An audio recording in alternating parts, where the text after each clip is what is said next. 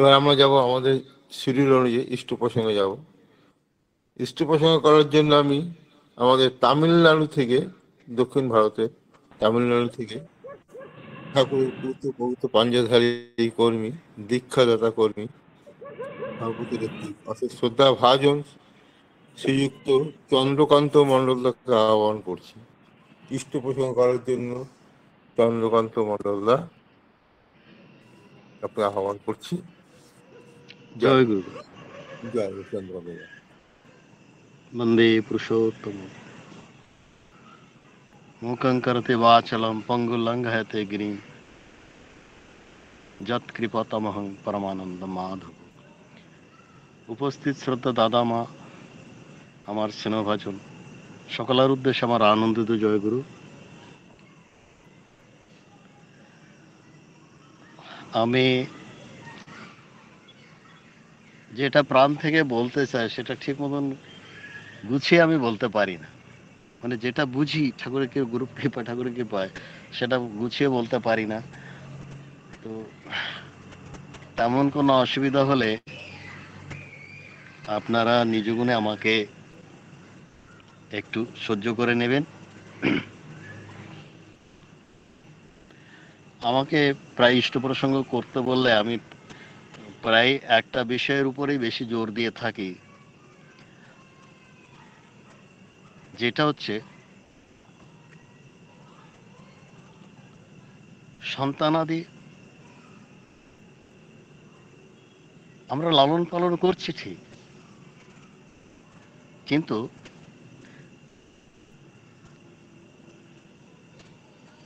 ঠিক মানুষ হয়ে উঠছে না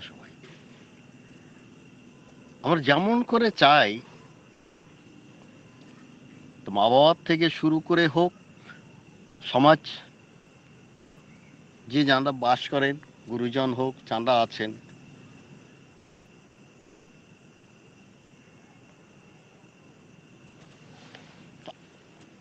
আমার সন্তানাদি, আমার পারিপার্শ্বিক, আমি যে সমাজে বাস করছি সেই সমাজের লোক। তেমন সুন্দর হয়ে উঠুক। আলাপ, অভ্যাস, ব্যবহার, সমস্ত কিছু। ভালো হলে সবার শান্তি, সবার সুখ।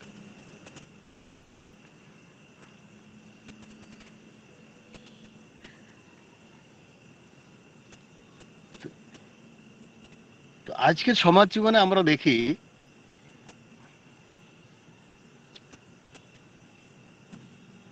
যে প্রায় আফসোস করে, ছেলেটা মানুষ হলো না।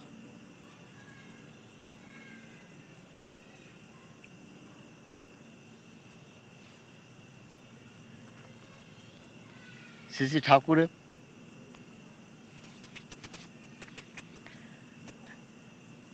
আপনারা হয়তো ঘটনাটা অনেকেই শুনেছেন। শ্রী ঠাকুরের সময়কার ঘটনা। একটি আমাদের গুরু ভাই দাদা, তিনি ঠাকুরের কাছে এসে প্রার্থনা করলেন, ঠাকুর, আমার ছেলেটা যেন বড় ডাক্তার হয়। ঠাকুর আশীর্বাদ করলে সে জীবনে বড় ডাক্তার হলো।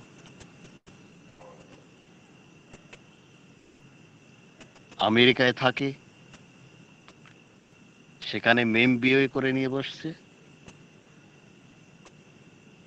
বাড়ির সঙ্গে, কারোর সঙ্গে তার সেই ভালো সম্পর্ক নেই। মা বাবার মনে বেদনা। শ্রী ঠাকুরকে এসে জানালেন।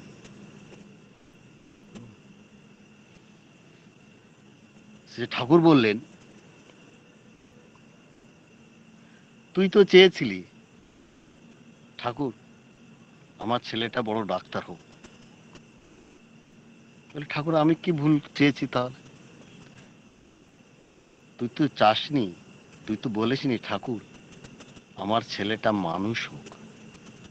একটা ভালো মানুষ হোক, সেই আশীর্বাদ তুমি করো।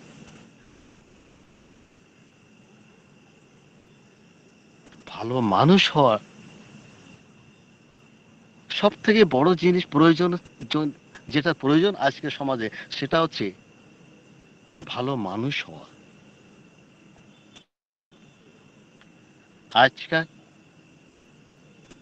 আমাদের মধ্যে প্রতি প্রত্যেক ঘরে যদি আমরা দেখি, সমাজের বুকে দেখি,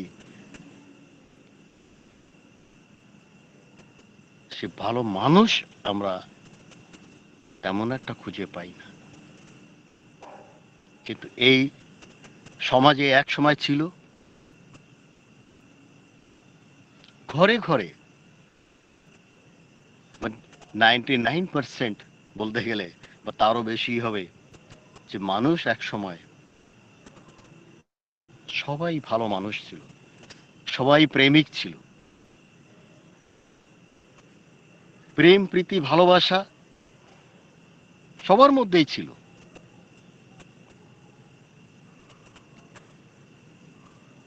সমাজে তখন, সমাজ কি পুরো রাষ্ট্র তখন, পুরো ভারতবাসী তখন সুখে শান্তিতে ছিল?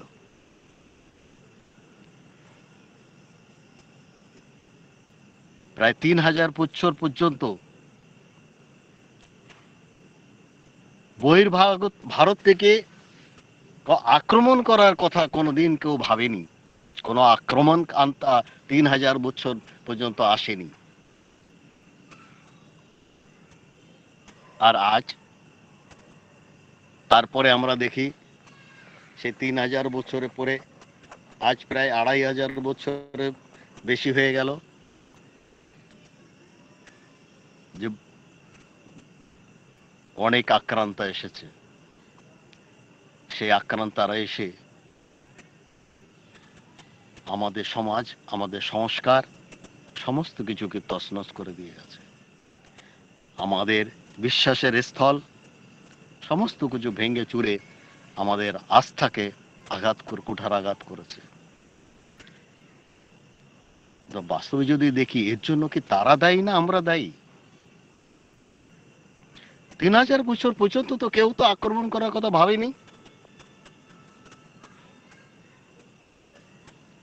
তারপরে কেন যত দিন যেতে লাগল, তত এত এত কিছু হতে লাগল। আর এখন তো ঘরে ঘরেই আক্রান্ত। মানে সমাজের বুকে সব জায়গায় খুঁজলে পাবেন আক্রান্তকারী। আমরা পাবো।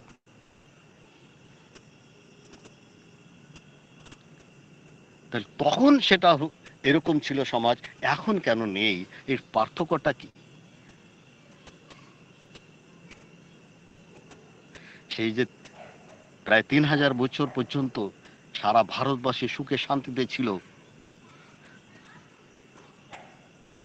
সেই ছনেকা চিড়িয়া বলা হতো।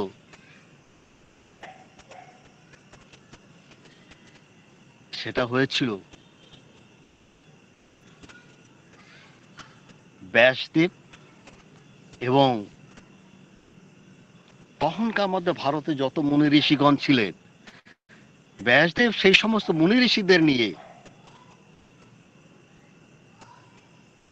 ভগবানের গুণ কীর্তন তার প্রচার প্রসার করেছিলেন। অর্থাৎ শ্রী ভগবান, অর্থাৎ ভগবান শ্রীকৃষ্ণের। তিনি দাপরের যুগে লীলা করে গেলেন।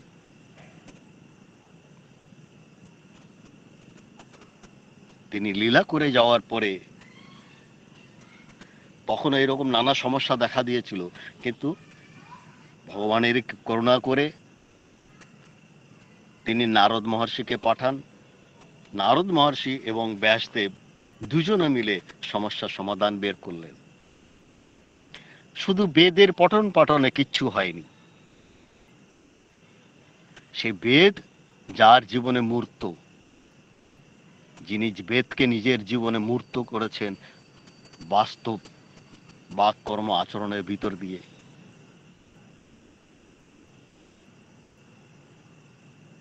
তারই লীলা গুণ কীর্তন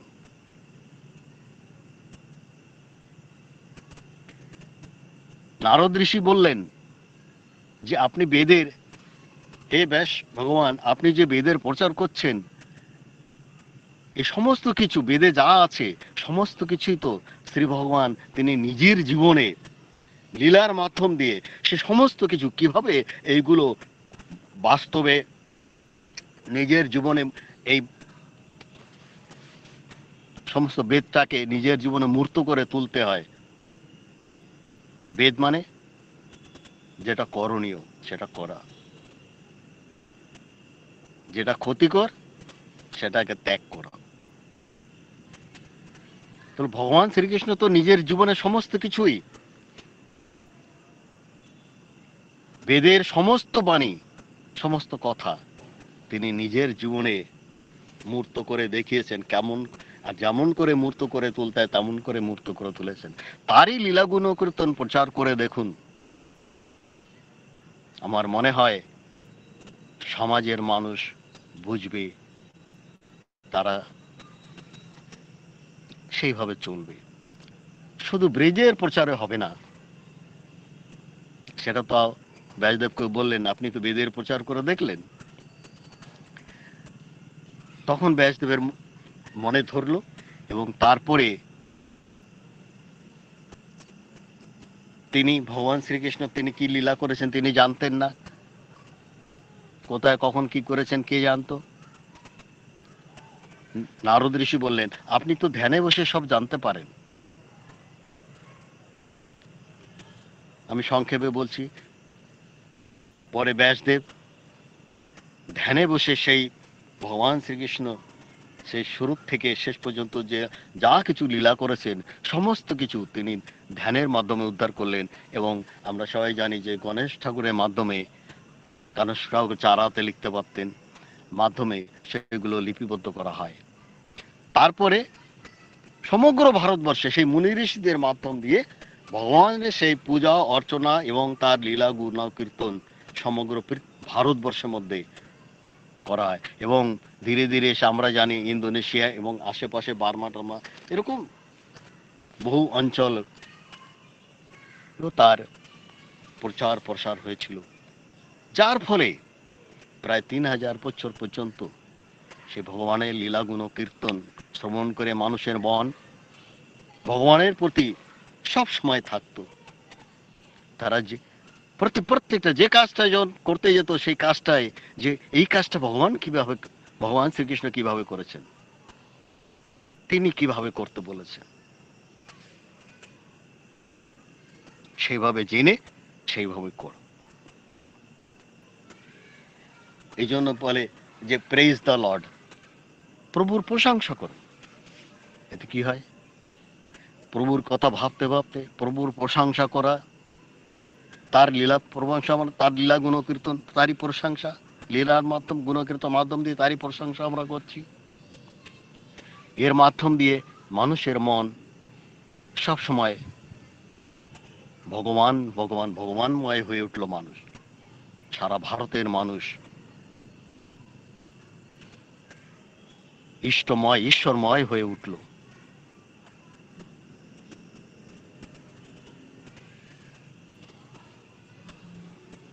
এবং বাস্তবেও ধর্মকে তারা বাস্তব জীবনেও পালন করতে লাগল। পুরুষ পুরুষের ধর্ম, নারী নারীর ধর্ম, ব্রাহ্মণ ক্ষত্র বৈশ্য, শূদ্র, যার যার ধর্ম, বর্ণচিত ধর্ম, সব ঠিক ঠিক সব কিছু পালন করতে লাগল। বিবাহ বিবাহ আদি সমস্ত কিছু শাস্ত্র অভিমত ভাবে হতে থাকল। স্বাস্থ্যের উল্ল- উল্লঙ্ঘন। এতটুকু কোথায়? আর হতো না। যার ফলে তিন হাজার বছর পর্যন্ত সারা ভারতবর্ষে সুখ শান্তিতে পূর্ণ ছিল। এই যে কি করে হলো? শুধু বেদের প্রচারই লীলাগুণ কীর্তনই তারা করেননি মনে ঋষিরা। বিভিন্ন জায়গায় আশ্রম স্থাপন করে। সেখানে শিক্ষা আশ্রমে গিয়ে সমাজের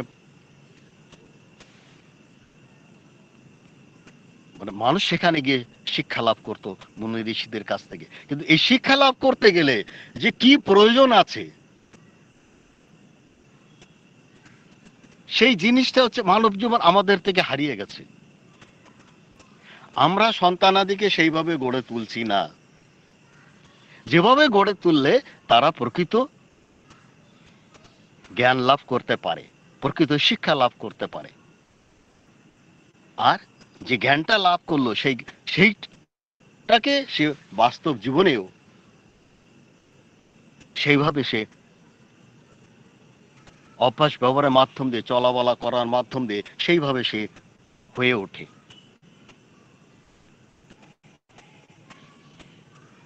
সেই জিনিসটা আমাদের সমাজ থেকে এখন হারিয়ে গেছে। আমরা এখনও সন্তানাদিকে লেখাপড়া শেখাচ্ছি, ডাক্তার হচ্ছে ইঞ্জিনিয়ার হচ্ছে, বড় বড় আইটিআই কোম্পানিতে বড় বড় ডিগ্রি নিয়ে হচ্ছে কত মাসে মাসে লক্ষ লক্ষ টাকা পর্যন্ত আয় করছে। কিন্তু আমরা সন্তানকে সেই জিনিসটা দিতে পারিনি। যারা তারা প্রকৃত জ্ঞান লাভ করতে পারে। মুনি ঋষিদের আশ্রমে যখন তারা পড়াশোনা করত তখন মুনি ঋষিরা আগে তাকে কোনো জ্ঞান দেওয়ার আগে, কোনো শাস্ত্র হোক বা লীলাগুণ কীর্তন হোক, কিছু তাকে দেওয়ার আগে আগে তার মধ্যে ভক্তি এবং শ্রদ্ধার চাষ করাতো। আগে গুরুর সেবা করতে হতো। গুরুর সেবা করে করে গুরুর প্রতি যখন তার শ্রদ্ধা, ভক্তি জাগতো, গুরুর আদেশ নির্দেশ পালনে যখন তার আনন্দ হতো তখন গিয়ে তাকে সেই শাস্ত্র জ্ঞান তখন তারপরে তাকে সেই শাস্ত্র জ্ঞান দেওয়া হতো।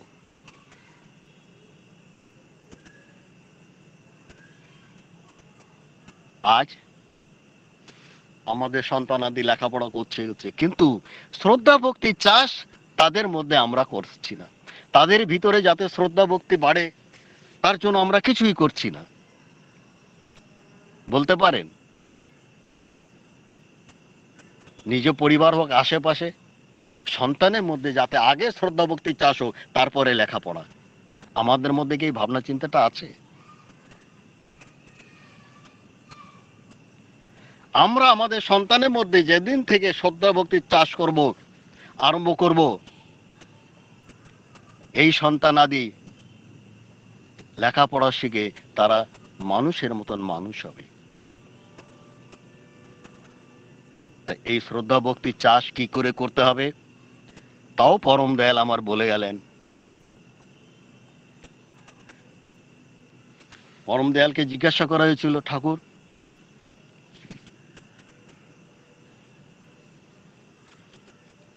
কি করে সন্তানের চরিত্র কীভাবে সুগঠিত হয়ে ওঠে এবং তারা জীবনে কীভাবে যোগ্য হয়ে ওঠে? ঠাকুর যে সমাধান দিলেন, তার মূলত হচ্ছে এই শ্রদ্ধা এবং ভক্তি, যাতে তাদের ভিতরে বাড়ে বৃদ্ধি প্রাপ্ত হয়, তাই করানো। আর এই করানোটাই হচ্ছে চাষ। তাই শ্রী ঠাকুর বললেন মা বাবার প্রতি যাতে ভক্তি বাড়ে, মা বাবার প্রতি যাতে শ্রদ্ধা বাড়ে, তাই করানো লাগে। সওয়াল পাওয়াল, মা বাবাকে নিত্য দেবে, বেশি বেশি করে দেবে। এই যে দেওয়ার মাধ্যম দিয়ে সেবার মাধ্যম দিয়ে বাবা শেখাবে। ছেলেকে দিয়ে মায়ের সেবা ও যত্ন নেওয়া। মা শেখাবে ছেলে মেয়েদের দিয়ে বাবার সেবা ও যত্ন নেওয়া।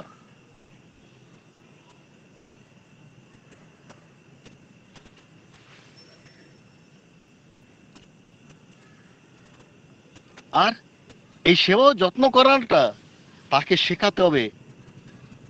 যখন থেকে সে আধো আধো কথা বলা শেখে, অর্থাৎ এক বছর বয়স থেকে। এই যে শ্রদ্ধা ভক্তির চাষ, এক থেকে পাঁচ বছরের মধ্যে আমরা যতটা করে দিতে পারব, জীবনে তারা তত বড় হবে, তারা তত প্রকৃত জ্ঞানবান হবে। যে জ্ঞানের দ্বারা মা, বাবা এবং সমাজের মঙ্গল এবং কল্যাণ সাধন তারা করতে পারবে। সেই জ্ঞান লাভ করার অধিকারী তারা হবে এই শ্রদ্ধা এবং ভক্তি যার ভিতরে যতটা বেড়ে উঠবে। তাই তিনি বললেন, বাবা শেখাবে ছেলেকে দিয়ে। মায়ের সঙ্গে সুন্দর মায়ের সঙ্গে যেন তার একটা শ্রদ্ধাপূর্ণ, প্রীতিপূর্ণ সম্পর্ক গড়ে ওঠে। তা মায়ের সঙ্গে যেন ছেলে সুন্দর ব্যবহার করে, সুন্দর আচরণ করে, মায়ের সেবাও যত্নমূলক, অর্থাৎ মাকে কিছু দেওয়া ছেলের মাহাত দিয়ে মাকে কিছু না কিছু দেওয়া। পরম দয়াল আমার এ পর্যন্ত বললেন, আর কিছু না হোক, অন্তত ছেলের হাত দিয়ে তার মাকে আলুটা, পটলটা, শাকটা, পাতাটা, এটা তো তার হাত দিয়ে তার মাকে দেওয়াতে পারিস।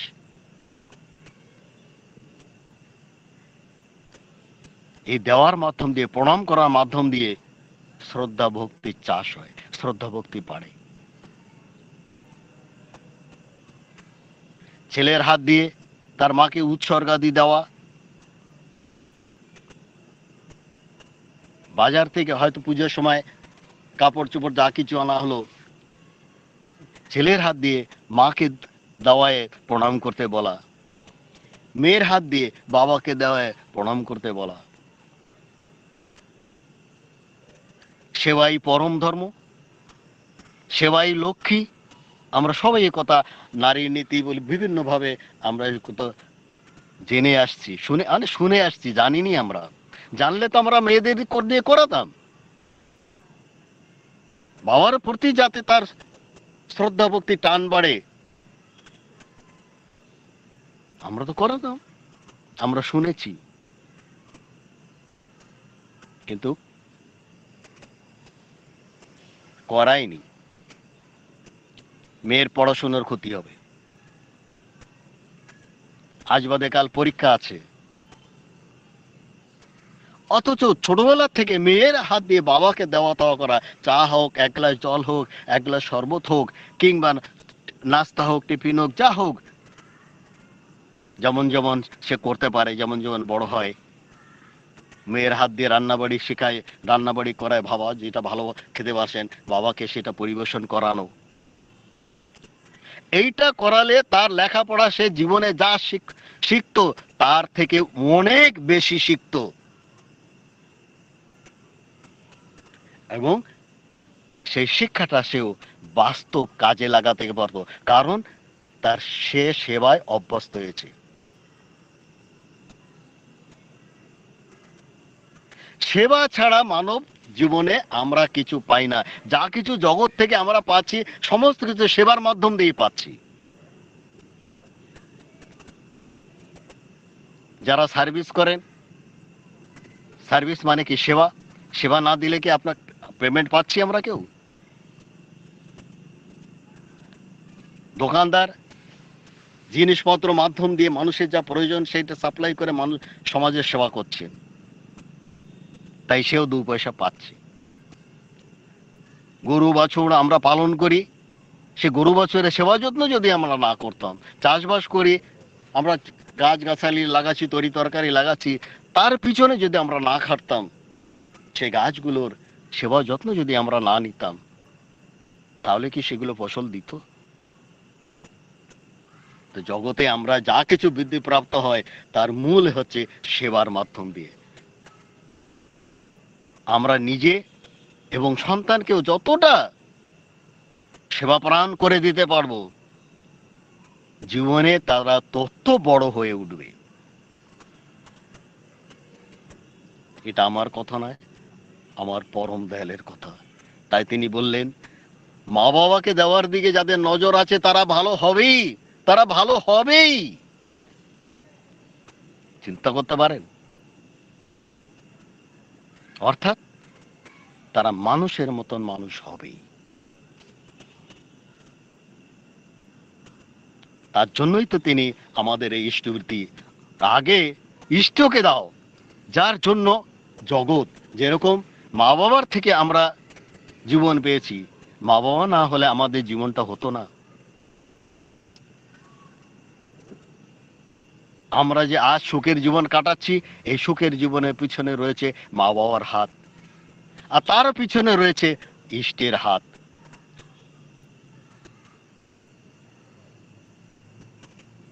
তাই অনাদিকাল থেকে আমরা শুনে আসছি যে সেবাই পরম ধর্ম। কিন্তু আমরা সেই সেবা প্রাণ করে তোলার, সেইটা আমরা ভুলে গেছি। আমরা সন্তানাদিকে সেবা প্রাণ না করে আমরা তাদের লেখাপড়া শেখাচ্ছি। লেখাপড়া শিখে তারা এখানে বই হয়ে যাচ্ছে। বইতে কি আছে? বইতে কত ভালো কথা লেখা আছে। কিন্তু সেই কথাগুলো উঠে গিয়ে কি সমাজের জীবনে, সমাজকে কোনো মঙ্গল কিছু করছে? না, সে বইয়ের থেকে সেই জ্ঞান অর্জন করছে, সে সেইভাবে করে নিজের জীবন এবং সমাজের ও কিছু সে দিচ্ছে। লাস্টে আমি একটা কথা বলি, যে শ্রী ঠাকুর বললেন যে চায় বঞ্চনা তার পিছু নিয়ে থাকে। দেখেন, সেবার মধ্যে মানে দেওয়ার মধ্যে কি আছে? আর পাওয়ার মধ্যে কি আছে? যে চায় বঞ্চনা তার পিছু নিয়ে থাকে, যে চায় না দেওয়ায় আপ্রাণ, প্রাপ্তি তার আশীর্বাদ বহন করে নিয়ে আসে। যে সেবা দেয়, যে সেবা প্রাণ হয়ে ওঠে আমরা আমাদের সন্তানাদিকে সেবা প্রাণ করে তুলতে পারলে তার প্রাপ্তি তো জীবনে ঘটবে এবং তার সঙ্গে থাকবে পরমপিতার আশীর্বাদ।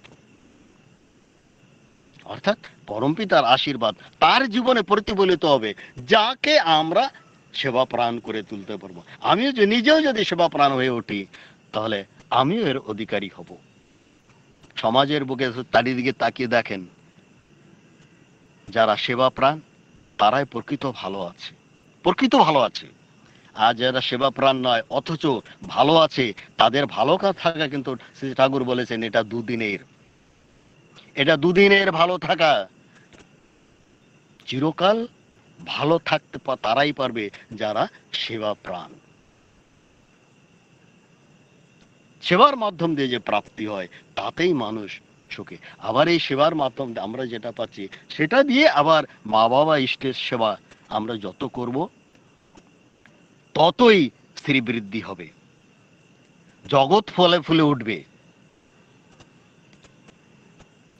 খাওয়া জল, পানি যা কিছু আমাদের প্রয়োজন, যা কিছু আমরা প্রকৃতির থেকে চাই মানে পাই বা চাই, তা প্রকৃতি আমাদের অডেল হয়ে দেবে, মূলত হচ্ছে সেবা।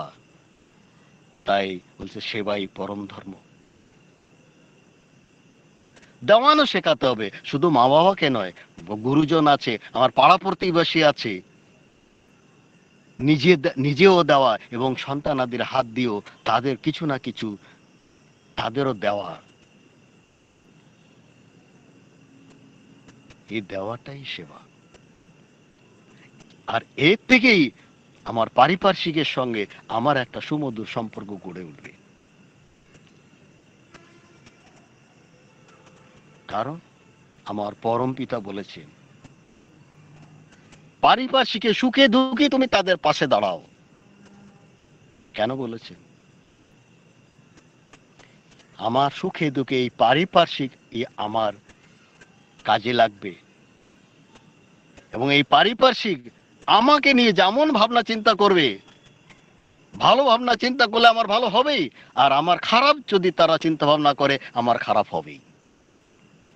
আমি যদি পারিপার্শ্বিকের সুখে দুঃখে পাশে দাঁড়াই, তাহলে কি তারা আমার খারাপ ভাবনা করবে? তারা কি আমার খারাপ চাইবে? যখন তাদের জন্য কিছু করব না, অথচ নিজে ঠাট বাটে সমস্ত কিছু উপভোগ করব, তখনই পাড়া প্রতিবেশী ঈর্ষা আমাকে খেয়ে ফেলবে। আমার তারা চাইবে না যে আমি আগে বাড়ুক, তারা চেষ্টা করবে আমাকে বিচু টানিয়ে নিতে। যেটা সমাজে ঘটে আসছে, আমরা দেখে আসছি। আশা করি দাদা মা সবাই পরম দয়াল আমার কি চেয়েছেন, আমি যতটুকু তার কৃপায় গুরু কৃপায় বুঝেছি, আমি বলার চেষ্টা করলাম। মূলত সেবায় স্ত্রী বৃদ্ধি। সেবার মাধ্যম দিয়ে মানুষ প্রকৃত জ্ঞান লাভ করে। যুগে যুগে মানুষ যারা ইষ্টকে অনুসরণ করেছে, অর্থাৎ পুরুষোত্তম, যুগে যুগে ভগবান এসছেন, পুরুষোত্তম রূপে এসছেন, যারা অনুসরণ করেছে তারাই অনুসরণ করতে পেরেছে, যারা সেবা প্রাণ হয়ে উঠেছিল। অন্তত আর কিছু নয়, ছোটবেলার থেকে সে বংশ পরম্পরায় যেখানে করে মা, বাবা, গুরুজনের সেবা যারা করেছে, তারাই যখন ইষ্টকে ধরেছে, তারাই তখন ইষ্টের সেবা তো আগুয়ান হয়েছে। আজ আমাদের মধ্যে, নিজেদের মধ্যে দেখুন, যারা ইষ্টপ্রাণ আছেন যখন যেরকম ইষ্ট নির্দেশ আসছে, তা পালন করতে উঠে পড়ে লেগে যাচ্ছেন, তাদের মধ্যে দেখেন সেবা প্রাণ রয়েছে।